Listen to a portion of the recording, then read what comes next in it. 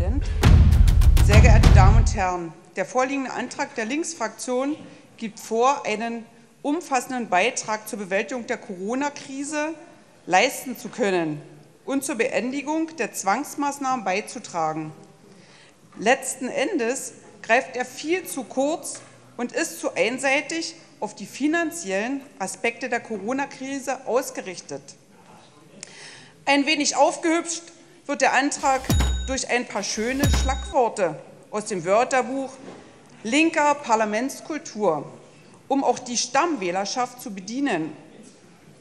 Ihr Antrag ist ein reiner Schaufensterantrag. Auch wir möchten, dass diese Zwangsmaßnahmen schnellstmöglich beendet werden. Da wurde von uns heute schon viel gesagt. Es muss jetzt gehandelt werden. Wir wollen einen ordentlichen Plan, der aber an weit mehr als an der Neuinfektionsrate orientiert. Diese ist nämlich stark vom Testgeschehen abhängig und daher allein betrachtet ein denkbar schlechter Parameter. Die Staatsregierung wird wohl aber bei ihrer Öffnungsstrategie genau daran festhalten. An was Sie sich orientieren wollen, werte Linksfraktion, bleibt offen. Sie wollen es an einem runden Tisch klären und diesen hier etablieren.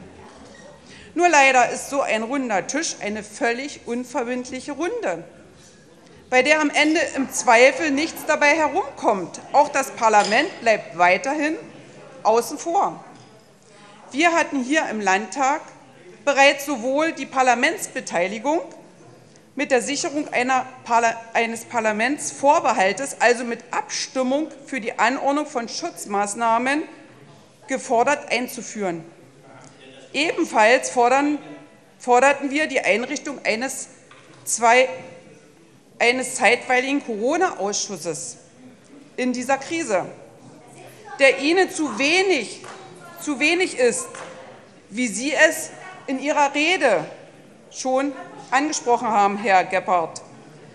Auch dieser Corona-Ausschuss hätte Sachverständigen anhören können, wie Ihr runder Tisch auch vor, vorgeschlagen wurde.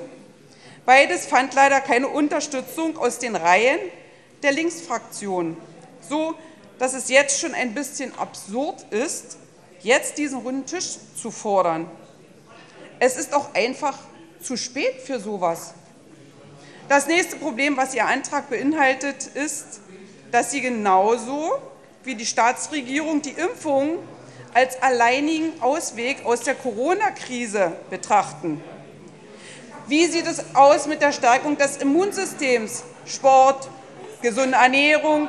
Nun entwickelt sich aber die Impfkampagne immer mehr zu einem echten Debakel. Auf absehbare Zeit wird, wenn es so weitergeht, keine adäquate Impfrate erzielt werden können. Die Impfung zur schnellen Beendigung der Zwangsmaßnahmen scheidet daher weitgehend aus, zumal sie einen Unsicherheitsfaktor völlig außen vor lassen. Frau Spitzer, äh, gestatten Sie eine Zwischenfrage am Mikrofon? Nein. Was ist eigentlich, wenn Sie nicht genügend Menschen freiwillig den Impfstoff verabreichen, verabreichen lassen wollen? Frau Köpping schließt die Impfpflicht ja bislang aus. In diesem Fall scheitert entweder der Ausweg durch die Impfung oder es kommt doch eine Impfpflicht. Warten Sie mal, Frau Kollegin Schwitzer, ich muss noch mal darauf hinweisen, es ist wirklich sehr, un, sehr unruhig hier im Saal. Sehr unruhig hier im Saal.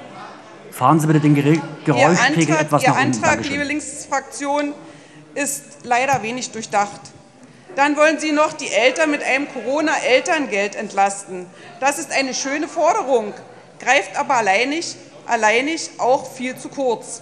Wir haben hier in diesem Hohen Hause bereits äh, angeregt und auch gefordert, die Mehrwertsteuer auf Produkte und Dienstleistungen mit Kinderbezug dauerhaft abzusenken.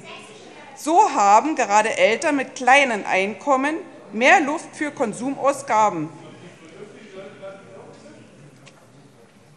Anzuregen, anzuregen. Auch hier kann man sich fragen, wie ernst nehmen Sie sich und Ihre Forderungen eigentlich? wenn Sie unsere Forderung, nur weil sie von der AfD kommen, kategorisch immer ablehnen.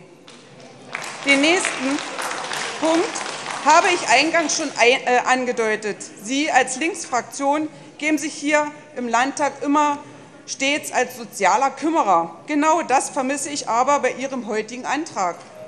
Sie vernachlässigen völlig, dass zur Überwindung der Corona-Krise auch die Schaffung neuer Beratungs- und Unterstützungsangebote sowie die Stärkung vorhandener Angebote gebraucht werden.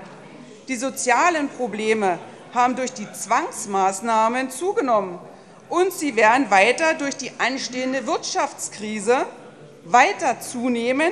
Die Corona-Krise wird wohl zunehmend zu einer sozialen Krise werden. Ihr Antrag vermisst an dieser Stelle also auch die notwendige Weitsicht. Sie sehen also, ein paar gut klingende Forderungen sind schnell auf dem Wunschzettel geschrieben. Durchdacht ist das aber noch lange nicht und wird daher den Bürgern im Zweifel, im Zweifel nicht, oder nicht viel helfen, zumindest nicht jetzt. Wir lehnen Ihren Antrag daher ab. Vielen Dank.